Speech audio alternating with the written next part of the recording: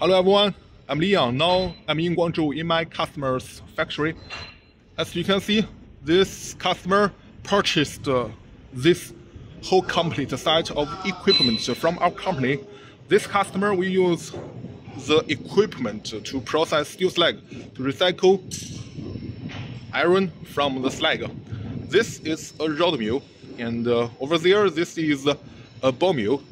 First, we use rod mill to crush slag to small pieces, then we can get uh, iron scraps pre preliminary. And uh, the iron scrap from rod mill is about uh, 70%. Then we will use ball mill to polish the iron to 90%. This is how this production line works. Okay, and uh, about one month later, this this plant will into operation, and uh, I will take videos for you to see the result.